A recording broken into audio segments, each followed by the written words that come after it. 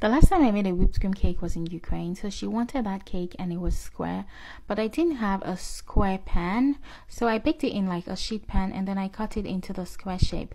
It was a black forest cake. So I baked some berries into the cake and also I filled it with um, whipped cream and also um, put some berry jam into the layers and it was so nice guys. It was so delicious anyways so i kind of torted the cake and cut them into like square parts so like it could fit on the board and then i trimmed the sides and then I crumb coated the cake in my whipped cream. See how stable this whipped cream is. If you want the recipe, you need to check my channel for the video before this one. The recipe is there.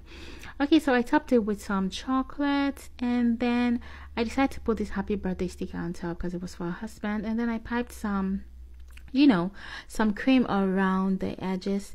And i was going to top it with um, some gold balls. So i